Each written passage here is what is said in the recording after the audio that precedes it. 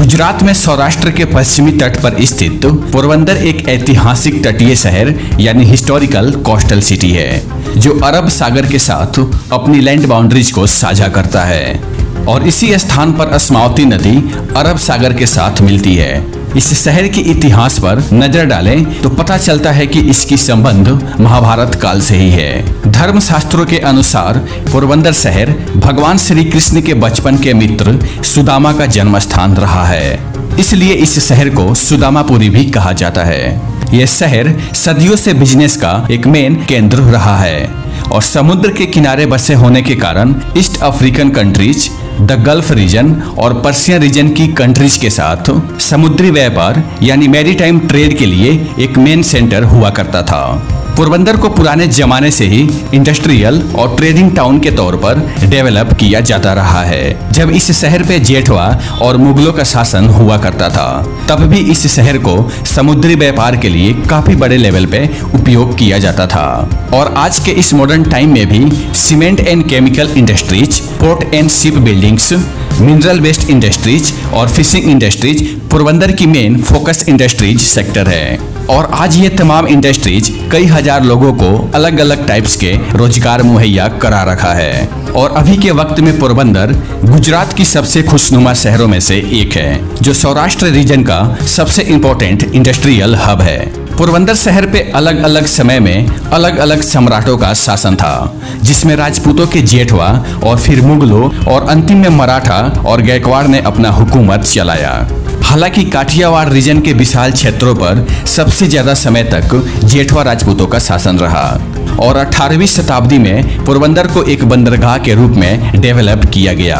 कहा जाता है कि उस दौरान पोरबंदर के कारीगर काफ़ी कुशल हुआ करते थे, यानी स्किल्ड आर्टिशियंस हुआ करते थे, जो नाव, यानी बोट बनाने में काफ़ी एक्सपर्ट हुआ करते थे। और यही आर्टिशियन यहाँ पर समुद्री जहाज़ बनाने की एक न्यू बिज़नेस बोले तो ship building manufacturing industries start की थी। पोरबंदर का विकास उस टाइम पर सबसे अधिक हुआ था, जब इस शहर पे महाराणा भाव सिंह जी हुकूमत किया करते थे।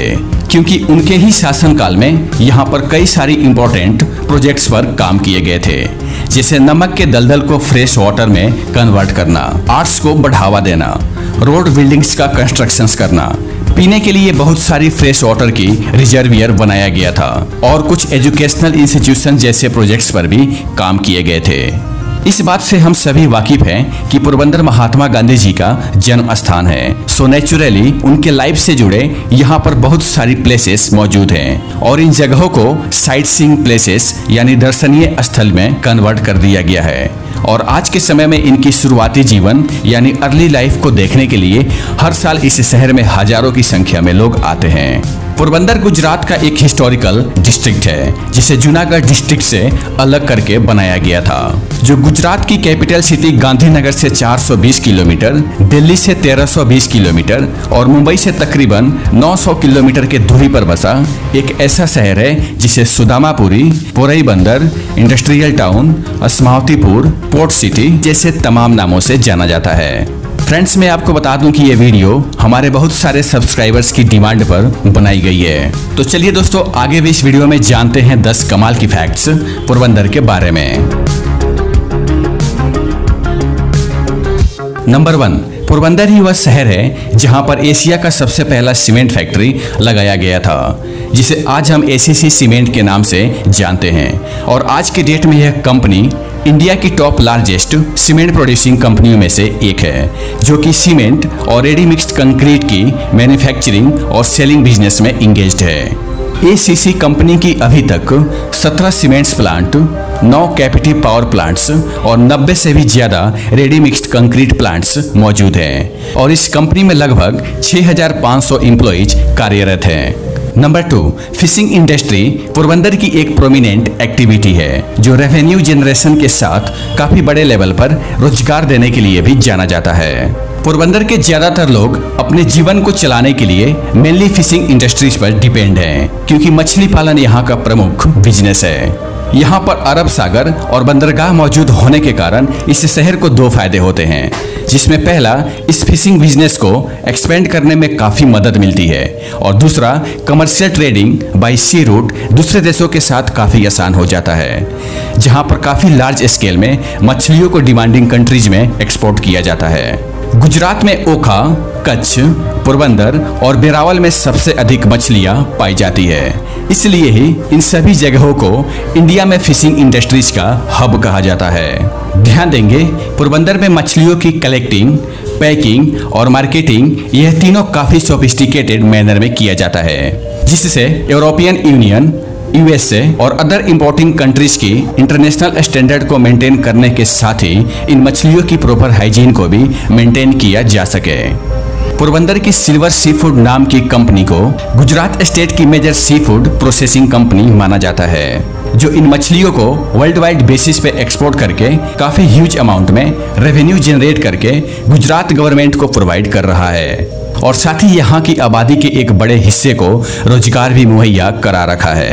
पोरबंदर में निकाले गए इन मछलियों को प्रोसेसिंग करके सबसे अधिक Japan, Taiwan, Malaysia, China, Bangkok, European countries Australia, Mauritius, American countries Korea और तमाम दूसरे कंट्रीज़ में एक्सपोर्ट किया जाता है। यहाँ की फिशिंग इंडस्ट्रीज़ लगभग 200 करोड़ रुपए की है। इसलिए ही पोरबंदर की फिशिंग इंडस्ट्रीज़ को पोरबंदर की अर्थव्यवस्था का बैकबोन कहा जाता है। नंबर थ्री भारत के लोगों का दूसरे देशों में जाकर बसने में पोरबंदर का एक ऐतिहासिक महत्व रहा है।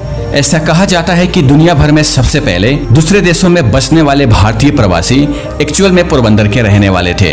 आज के डेट में हज़ारों की संख्या में गुजराती लोग यूनाइटेड किंगडम में बसे हुए हैं, जो मूल रूप से पोरबंदर के रहने वाले हैं। ऐसे ही फिजी, ऑस्ट्रेलिया और यूके में गिरनार सोनी समुदाय के लोग बसे हुए हैं, जिनकी जड़ें पोरबंदर से जुड़ती है इसी तरह तंजानिया और युगांडा में बसे हुए कुछ लोगों की जड़ें यही पोरबंदर में हैं। दस को पहले पोरबंदर से बिलोंग करने वाले मेहर कम्युनिटी के लोग, जिन्हें मेयर टाइटल से भी जाना जाता है, जो ब्रिटेन और अमेरिका जैसे देशों में बसे हुए हैं। यहाँ तक कि कुछ लुहान और खोजा मुस्लिम, साउथ अफ्रीका और थोड़े बहुत मेडागास्कर जैसे कंट्रीज़ में आकर बस गए हैं।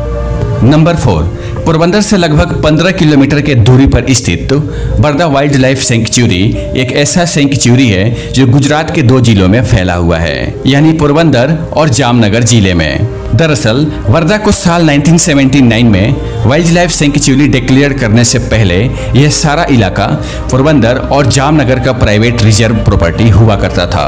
इस वाइल्ड लाइफ सेंचुरी में कई छोटे बड़े पानी के नाला भी मौजूद हैं, क्योंकि बिल्लेश्वरी और जोगरी नदी इसी इलाके से होकर निकलती है। बर्दा सेंचुरी मेडिसिनल प्लांट्स के लिए भी बहुत अधिक मशहूर है। क्योंकि यहाँ पर 650 से भी अधिक फूल और दूसरे इम्पोर्टेंट पौधों की स्पीसीज यानी प्रजातियाँ मौजूद हैं, जिन्हें मेडिकल पर्पस के लिए यूज़ किया जा रहा है। इस सेंचुरी की चारों तरफ़ फैली हुई घने जंगल गुजरात में इकोलॉजिकल सिक्योरिटी प्रोवाइड करने के साथ ही अरब सागर से सॉल्टी एस्पेक्ट्स को इन इलाकों में प्रवेश करने से रोकता है। लगभग 200 स्क्वायर किलोमीटर एरिया में फैला यह सेंचुरी कभी एशियाई शेरों का घर हुआ करता था और आज इनकी संख्या बहुत कम बची है। इसलिए इन्हें लुप्त प्राय यानी खत्म होने वाले प्रजाति की कैटेगरी में रखा गया है। अभी यह एशियाई शेर सबसे अधिक गिर नेशनल पार्क में पाए जाते हैं। खम्बाला और फोडरा जैसे दो बड़े बाँध इसी वाइल्ड लाइफ सेंचुरी में सिचुएटेड हैं, जो एक वंडरफुल साइट प्रोवाइड करते हैं। फ्रेंड्स इस वीडियो का पार्ट टू तीन से चार दिन के अंदर में आने वाला है।